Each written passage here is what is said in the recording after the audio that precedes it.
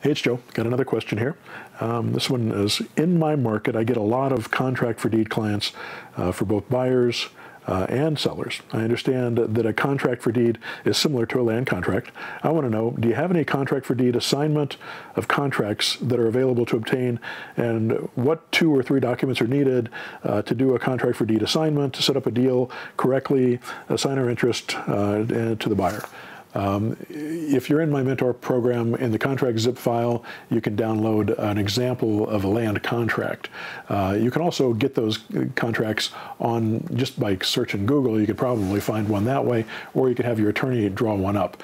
Uh, most land contracts are contract for deeds. And contract for deeds, by the way, is in a, a, a trust deed state. Uh, land contracts are in mortgage states. So if you if you know you've got mortgages, then you're in a, a land contract state. Uh, if you've got trust deeds, then you know you're in a contract for deed state. And you can get those. Uh, what I would suggest is when you know you're going to do a deal like that, you have the attorney draw one up for you. You pay them for it. Uh, you have them send it to you on a Word document. So now you've got a copy of it that you can modify for future uh, future future use.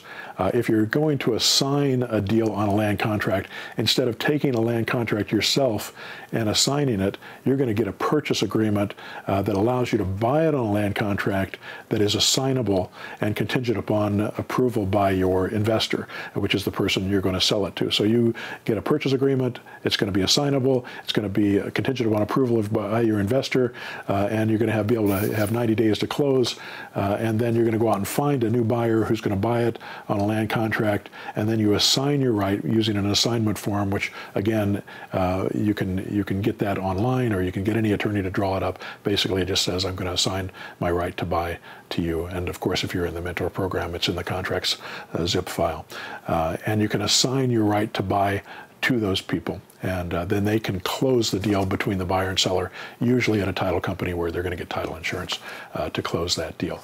So that's the way uh, that would work.